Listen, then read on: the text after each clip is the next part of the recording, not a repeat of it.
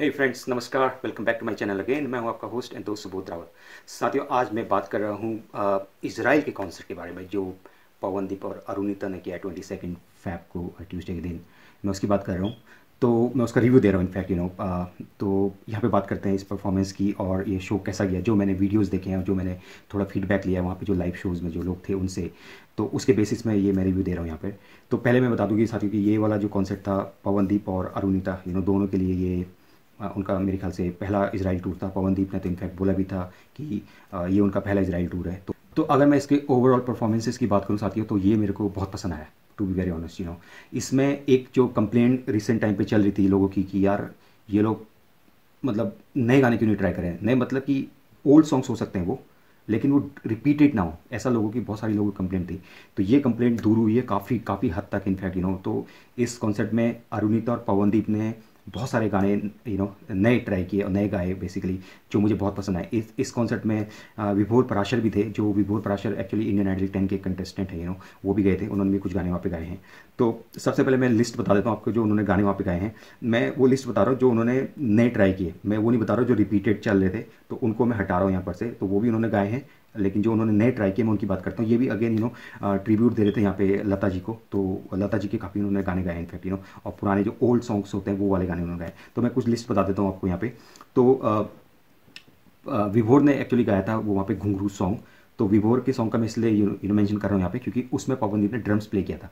तो वो very good performance to me you know drums play करना। हालाँकि पहले पवनदीप ड्रम्स के साथ में गाना गा रहे थे, पिछले टूर में यूके के। यहाँ पे उन्होंने केवल ड्रम्स प्ले किया है तो विभोर ने वो गाना गाया है। अरुणिता ने वहाँ पे गाने गाए हैं मेरी आवाज़ पहचान, ये पुराना गाना है। चुरा लिया है, ये भी पुराना गाना उन्होंने गाया है। दिल चीज़ है क्या? यू नो ये भी उन्होंने पुराना गाना गाया है। और एक तारा गाना उन्होंने गाया है। इसके बाद पवनदीप की बात करते हैं। पवनदीप ने काफ़ी सारे वहाँ पे गाने गाए। इनफैक्ट पवनदीप ने एक बहुत बड़ी मेडली गाई थी तो उन्होंने बहुत शॉर्ट शॉर्ट गाने वहाँ पे गाए थे उस मेडली में। तो वो मैं लिस्ट बता देता हूँ। मैं स्पेशली वही मेंशन कर रहा हूँ जो उन्होंने मतलब नए इंक्लूड किए इस वाले यू नो टूर में। तो उन्होंने एक आयर सॉन्ग गाया था, वहाँ पर फुल गाया था। तेरे भी नहीं लगता दिल आ, मेरे ढूलना ये उन्होंने गाया आ, फिर उन्होंने मन की लगन गाना गाया। आ, जो वादा किया वो निभाना पड़ेगा उन्होंने गाया। आ, मेरे नाम तू गाया। जरा सी दिल में दे जगह गाया। ये वाला जो सॉन्ग है मैंने भी अपने पुराने वीडियो में रिक्वेस्ट किया था यू नो मैग्निफिसेंट फोर का जो रीलोडेड का जो टूर था यूके का कि उनको क्या नए गाने गाने चाहिए थे तो ये गाया उन्होंने गाना वहाँ पे। मुस्कुराने की वजह तुम हो गाया उन्होंने। मेरे महबूब कयामत हो पुराना गाना है उसमें मेडली में जोड़ा था उन्होंने। आबिजा ये लकी अली का सॉन्ग है। आ, मुझे बहुत पसंद आता है ये सॉन्ग तो ये गाया पवनदीप ने विच वॉज़ गुड फिर उन्होंने गुलाबी आके गाया as part of the medley again धीरे धीरे से मेरी ज़िंदगी माना गया उन्होंने। आ, फिर राह में उनसे मुलाकात हो गई ये गाया। फिर ओरे पिया उन्होंने गाया। ये वाला भी सॉन्ग ओरे पिया भी ये राहत फतेह अली खान का सॉन्ग है ये मैंने रिक्वेस्ट रिक्वेस्ट सजेशन किया था उनको कि ऐसा ये गाना वो लोग गाएँ तो ये भी उन्होंने इंक्लूड किया था विच वॉज़ गुड फिर उन्होंने लास्ट में उसी मेडली में सैनोरीटा भी गाया। तो मेरे हिसाब से अगर मेरे को आप बोले ना ओवरऑल परफॉर्मेंस की बात में बात में, मुझे लगता है कि जो मेडली वाली परफॉर्मेंस थी, पवन ने की, ये बहुत ज़बरदस्त थी। मतलब मेडली पवनदीप जब करते हैं, मुझे लगता है कि कुछ नए अच्छे एक्सपेरिमेंट करने की कोशिश करते हैं। जब यूपी के वो लास्ट टूर में आए थे तो उन्होंने पियानो की मेडली करी थी which was you know really like by many many people you know including myself मैंने भी बहुत पसंद किया था उसको। ये गिटार के साथ में थे जनरली इस वाले में तो मेडली बहुत पसंद आई लोगों को यहाँ पे भी। पवन ने एक गाना तबला में भी गाया, जो किसी नज़र को तेरा इंतज़ार, वो पप्पी लारी जी को ट्रिब्यूट भी था तो वो उन्होंने यहाँ पे गाया। मैं इसको इसलिए मेंशन कर रहा हूँ, हालाँकि पहले गा चुके हैं, लेकिन ये ट्रिब्यूट था तो इसलिए मैंने इसको मेंशन किया सॉन्ग को। चारों लोगों ने लंडन थुमकदा वाला भी गाना वहाँ पे गाया, जो you know people really like it basically इसके अलावा डुएट्स हुए थे पवनदीप और अरविंद के तो मैं डुएट्स की भी लिस्ट आपको बता देते जो उन्होंने वहाँ पे गाए। सबसे पहले उन्होंने गाया था कि नैनो को धीरे धीरे वाला सॉन्ग उन्होंने सबसे पहले गाया। ये वाला जो सॉन्ग है, इस वाले सॉन्ग में अगर आपने देखा होगा कि पवनदीप हमेशा बैक स्टेज में गाते हैं सॉन्ग को। यहाँ वाले कॉन्सर्ट में उन्होंने फ्रंट स्टेज में गाया अरुणिता के साथ में। मैंने पहले भी रिकमेंड किया था कि एक बार कि अगर वो फ्रंट में गाएँगे तो बहुत अच्छा लगेगा। तो ये उन्होंने फ्रंट में गाया गिटार लेकर के। I think this was really like by the people and I like as well you know that one that performance of you know Arunita Pawandeep. इसके बाद उन्होंने कुछ नए डुएट्स डाले थे। क्या यही प्यार है? पुराना सॉन्ग है ये। आँखों में हमसे आपके सपने सजाए ये भी पुराना सॉन्ग है। अच्छा लगा मुझे। और तेरी आँखों के सिवा ये सॉन्ग गाया उन्होंने।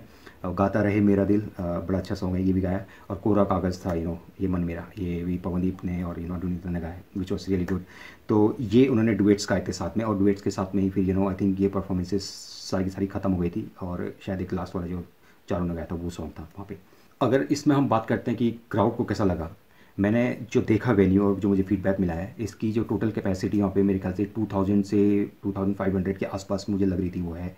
और पूरा मतलब फुल था ये 100 परसेंट फुल था, एक भी सीट वहाँ पे खाली नहीं थी। और ऐसा लग रहा था कि जैसे इसराइल वाले यू नो बेसब्री से इंतज़ार कर रहे हैं, पवनदीप और अरुणिता कि वो वहाँ पर आएँ और गाएँ, ऐसा मुझे लग रहा था।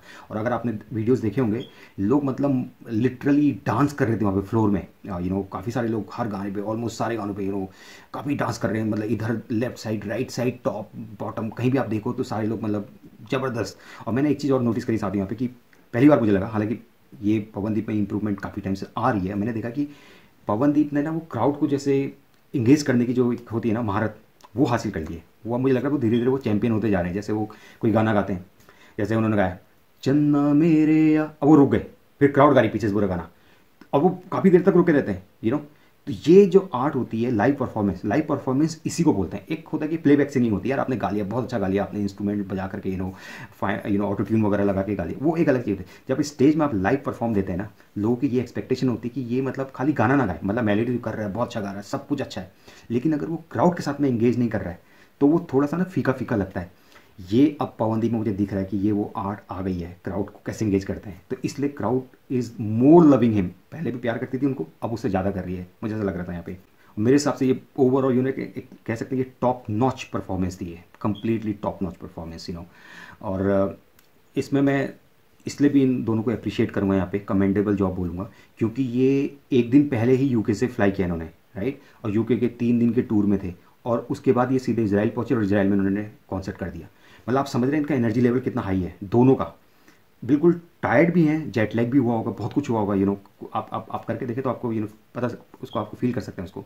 लेकिन किया दोनों ने शो किया कमिटमेंट थी लोगों के साथ में परफॉर्म किया और ज़बरदस्त परफॉर्म किया। इसके लिए मेरा salute to you know both of them basically एक चीज़ मैंने यहाँ पे नोटिस करी साथी कि जो बैंड था इसराइल का आ, ये मुझे लगा कहीं पे ये थोड़ा सा ना मुझे यूके वाला जो बैंड है उससे थोड़ा सा अच्छा लगा। I don't know what was the reason but quality wise मुझे लगा थोड़ा सा बेटर था you know which is a good sign basically you know जैसे मैंने पहले बहुत सारे शोज़ अटेंड किए हुए हैं, अरिजीत के भी किए हैं, और यू नो राहत फ़तेह अली खान वगैरह के किए हुए हैं। मैं देखता हूँ क्योंकि जो बैंड की क्वालिटी होती है, वो मतलब बहुत सुपीरियर होती है, ज़बरदस्त होती है मतलब उसमें खाली चार पाँच लोग नहीं होते हैं उसमें दस पंद्रह लोग होते हैं यू सारे इंस्ट्रूमेंट के साथ में वायलिन के साथ में। वो मतलब ये क्वालिटी मुझे देखी यहाँ पे थी इट वॉज़ गुड सो साथियों this was my quick review about the you know Pawandeep and Arunita's concert in Israel मेरे हिसाब से तो ये बहुत ज़बरदस्त शो गया है और अब इनका ये टूर और ये लेग जो है यूके फिर इसराइल ये ख़त्म हो गया है। अब ये फेब के महीने में मुझे नहीं लग रहा है और कुछ होने वाला है। And also I think they need a good rest for you know one week of time क्योंकि अब ये नेक्स्ट मंथ में जो है मार्च में यू नो मैं ये चार लोगों का यू नो कॉन्सर्ट शुरू हो रहा है, जिसमें ऑफकोर्स पवनदीप अरुणिता तो है ही हैं, दानिश और यू नो साइली भी हैं। तो ये चार लोग जा रहे हैं यूएस के टूर में। यूएस एक बहुत बड़ी कंट्री है बेसिकली यू नो पूरे यूएस में इंडिया की ऐसी you know two and half countries आ सकती हैं। तो ढाई कंट्रीज़ इंडिया के मिला के यूएस बनता है। तो यूएस में तीन या चार जो है टाइम जोन्स हैं अलग अलग यू नो हर टाइम जोन में एक एक घंटे का हाफ़ हाफ़ आवर का डिफरेंस भी है। तो इनका ये टूर इसीलिए पूरे वन यू नो मंथ का रखा गया। तो ये मार्च के बिगिनिंग से शुरू होगा, मार्च के एंड पे ये खत्म होगा। मेरे ख्याल से इसमें छः या सात कॉन्सर्ट्स टोटल हैं। तो मैं इस पर जल्दी अपना एक वीडियो लेके आऊँगा यूएस के टूर को लेकर के पहले यू नो फॉरवर्ड लेकर के कि कैसा रहेगा क्या एक्सपेक्टेशन है ऑल मैं थोड़े वेन्यूज़ की डिटेल्स वगैरह वहाँ पे लेके आऊँगा आप, लोगों के सामने।